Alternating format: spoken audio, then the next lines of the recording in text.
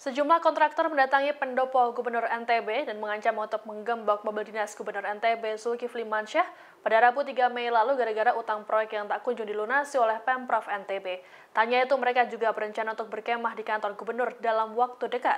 Menanggapi protes para kontraktor, Zulkifli Mansyah menyatakan pihaknya akan segera melunasi utang tersebut. Proyek yang dimaksud para kontraktor ini adalah yang rampung pada 2022 silam dengan nilai utang mencapai 223 miliar rupiah.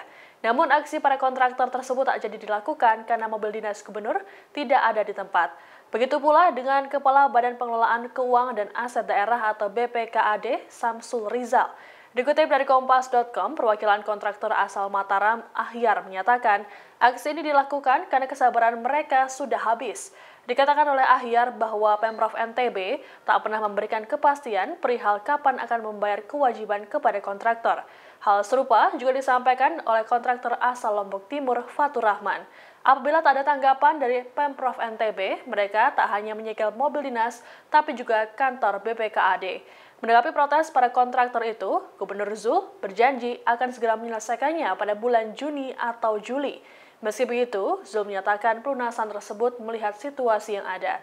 Dikatakan lebih lanjut olehnya bahwa aksi penagihan utang ini disusupi kepentingan politik. Zul memaparkan kontraktor biasanya mengerjakan proyek pemerintah jika anggaran telah disahkan. Walau dana belum cair, pekerjaan itu akan dilakukan dengan modal pribadi atau pinjaman. Terima kasih sudah nonton. Jangan lupa like, subscribe, dan share ya.